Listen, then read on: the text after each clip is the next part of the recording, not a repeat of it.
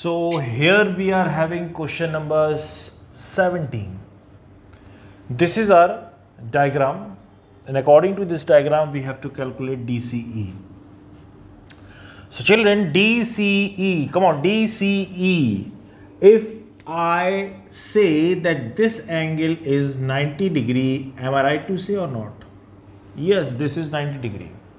This is 90 degree angle angle come on CED is your 90 degree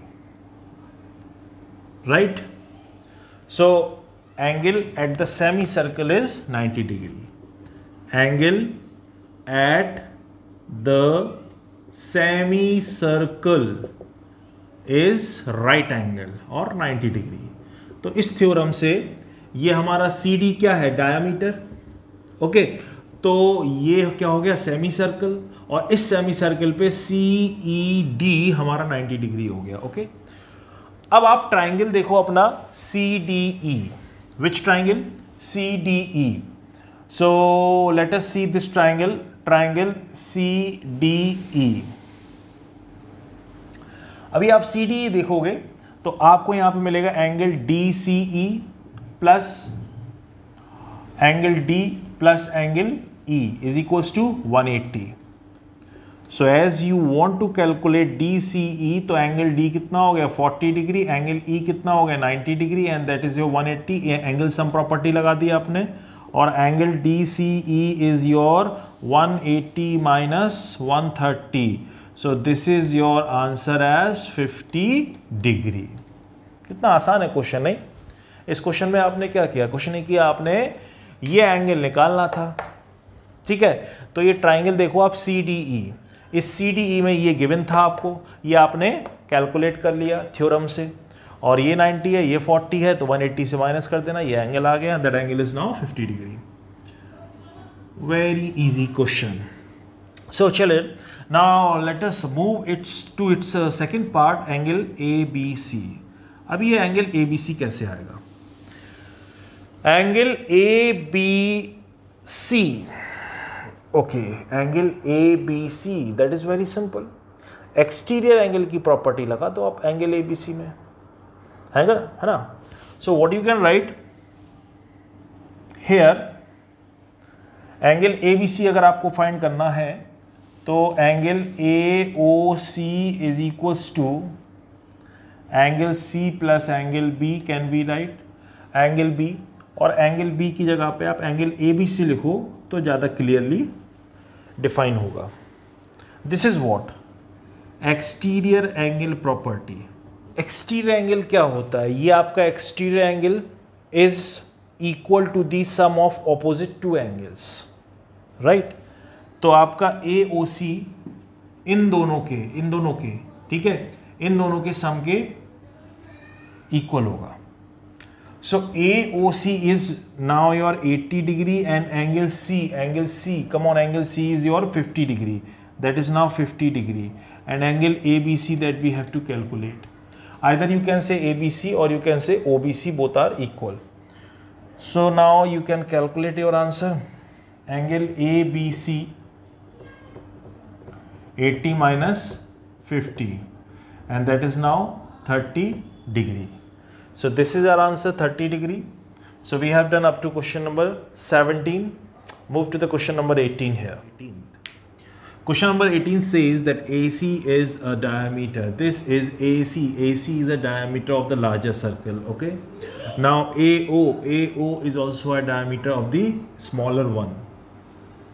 और जो AE है AE ये बड़े वाले सर्किल की कॉर्ड है so what they are saying what we have to prove We have to prove, we have to prove AB is equals to BE right? That thing we have to prove. अब इसमें हम लोग क्या करेंगे? एक construction आपको करना होगा। तो कंस्ट्रक्शन ये करना होगा, आपको ये O और B, ये आपको ज्वाइन करना होगा। So O B you have to join O B okay after this construction what will happen are you seeing ये सेंटर है आपका सर्कल का। तो ए ओ क्या हो गया आपका? डायामीटर वैसे भी बोला गया है आपको ए ओ डायामीटर अब अगर ए ओ डायामीटर है चिल्ड्रेन तो ये आपका एंगल कितना हो गया? Come on this angle will be 90 degree am I clear this angle will be 90 degree so after doing construction you can prove that A B O is your 90 degree so what I am going to write in solution that join OB right when you are going to join OB ABO you have proved as 90 degree ABO is 90 degree ये 90 degree क्यों हो गया आपका because A O is diameter and we have learn angle in the semi circle is 90 degree okay ऐसी theorem हमने पढ़ रखी है। अब ये 90 डिग्री हो गया so can we say this thing as O B is perpendicular to A E O B is perpendicular to A E क्योंकि ये 90 डिग्री बना रहा है। तो जो ओ बी है, वो इस ए ई पर क्या हो गया? परपेंडिकुलर हो गया राइट नाउ अब थोड़ा सा नाइन्थ क्लास में जाना होगा। नाइन्थ क्लास की एक थ्योरम आपको याद करनी होगी। नाइन्थ क्लास में थ्योरम ये थी that A perpendicular drawn from the center to the chord of a circle bisects the chord, right? So we can say that mm, a perpendicular row. Now we can write uh, AB is equals to BE proved. Okay, and the reason you will explain that perpendicular drawn. This is the sign of perpendicular from the centre of circle to the chord bisects the chord ठीक है? एक छोटी सी theorem है clear होनी चाहिए आपको। Suppose that इसको समझा देते हैं यहाँ पे। Right? This is your circle और ये आपकी एक कॉर्ड है ए ई e, और ये सर्कल का सेंटर है।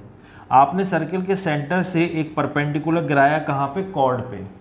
Right so this you can say as O and that you can say as C right तो जब परपेंडिकुलर आप गिराते हो कहाँ पे? कॉर्ड पे तो ये परपेंडिकुलर इस कॉर्ड को दो इक्वल पार्ट में डिवाइड कर देगा। A C is equals to C this thing we have learn in ninth class okay? So, i think this question is pretty clear to you if you have any doubt you can discuss it with me in the comment box so now let us move to the question number 19 okay class so we are going through this question number 19 here. 19 question is very simple where we have to prove or we have to calculate this angle BCD. BCD, are you seeing this circle?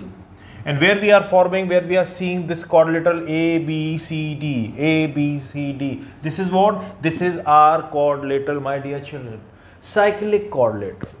So we have to calculate B C D B C D अगर calculate करना है तो cyclic coordinator की opposite sides का sum कितना होता है 180 degree होता है राइट तो यानी कि इस एंगल का सम और इस एंगल का सम कितना हो जाएगा 180 degree am I clear am I clear with this point और not So if you want to calculate this thing angle A plus angle BCD is gonna be a 180 degree.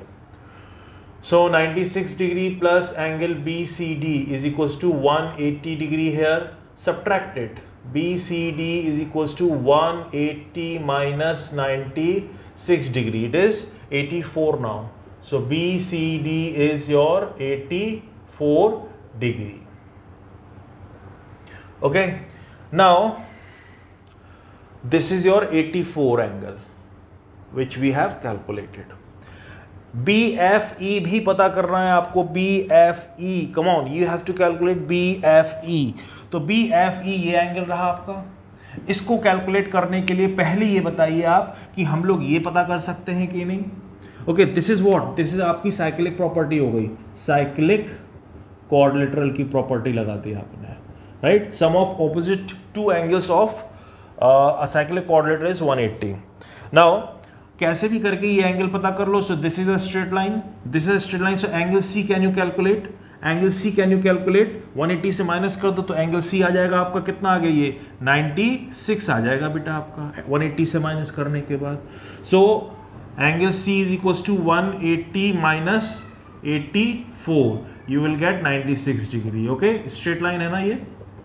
Straight line है। Straight line में आपने ए सी का नहीं, पूरा 180 है।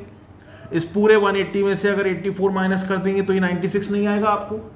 आ जाएगा ninety six ना you can say B C E F is your what's cyclic quadrilateral so B C E F is what it is cyclic quadrilateral ये क्या हो गया हमारा? साइक्लिक कोऑर्डिनेटर हो गया। साइक्लिक कोऑर्डिनेटर में मैंने आपको क्या बताया? कम ऑन टेल मी ये एंगल और इस एंगल का सम कितना हो जाएगा हमारा? 180 again so angle C plus angle B F E is equals to 180 है तो भाई, ये एंगल कितना आ गया? 96 degree and angle B F E is your 180 degree so you have to subtracted B F E is equals to 180 minus 96 and you will get 84 again. So this is going to be a 84 degree.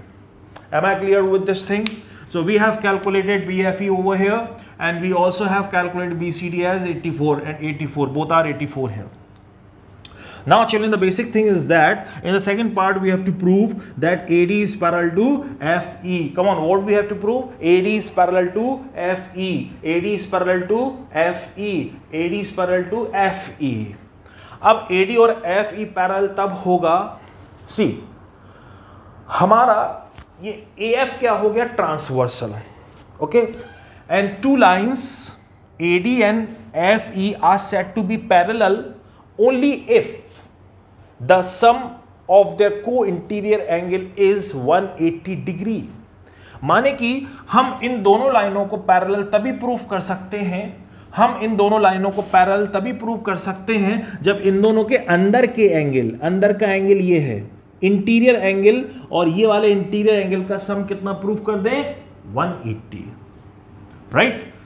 तो हम इसको कह सकते हैं these two lines are parallel तो पहले हमको इनको को इंटीरियर एंगल प्रूफ करना है। So now angle A plus this is our second part angle A plus angle F is equals to 180 degree और नॉट यस एंगल ए कितना है आपका? 96 डिग्री और ये कितना होगा? 84 degree so this is gonna be a 80 180 degree ये 80 degree आ गया 180 degree so this is your what we have proof co-interior angle co-interior angle you have proved इसका और इसका सम आपका कितना हो गया? 180 डिग्री। तो ये दोनों क्या बन गए? एंगल ए और F co-interior angle if it is co-interior angle then A F क्या हो गया आपका? ट्रांसवर्सल ट्रांसवर्सल ए एफ़ क्या हो गया?